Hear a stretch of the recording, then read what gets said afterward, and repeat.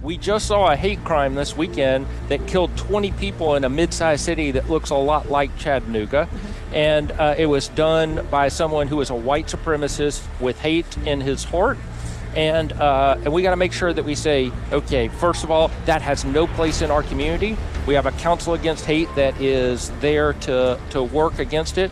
But we've now had, in the last 18 months, 63 people murdered by white supremacists in our country alone. And that is unacceptable. And the first thing to do is say, we're not going to accept that here.